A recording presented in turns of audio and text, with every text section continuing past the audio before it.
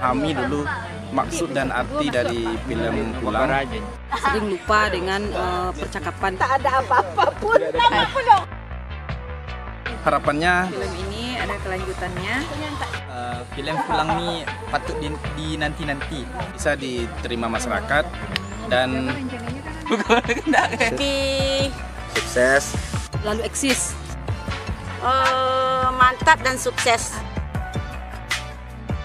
Bagi pemirsa yang mau menonton jangan lupa saksikan film pulang di di YouTube kami YouTube SSTL dan insya Allah Awal Maret 2020. Ada satu. kami akan mengadakan nobar di Balai Adat. Jadi tunggu. Oke. Sekian, terima kasih.